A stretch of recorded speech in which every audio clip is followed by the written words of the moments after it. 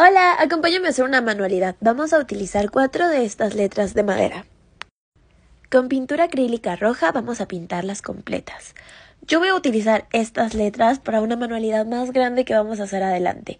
Básicamente va a ser un picnic de San Valentín, entonces necesitamos tener muchas decoraciones, por eso estamos pintando estas letras y este letrerito que voy a poner justo al centro del picnic que dice Love. Me encanta cómo se van viendo pintadas de rojo, pero creo que les falta un poquito más de decoración. A las letras de Love no les voy a hacer nada, pero a las demás les voy a poner unos corazoncitos y unos puntitos blancos salpicados por todas las letras. Quiero que las X tengan diferente decorado que las O, entonces a estas les estoy poniendo unos puntitos que estoy uniendo con unas rayitas. Es una decoración súper sencilla de hacer, aparte se ven muy lindas estas letras, tú las podrías utilizar para decorar tu casa o para lo que tú quieras.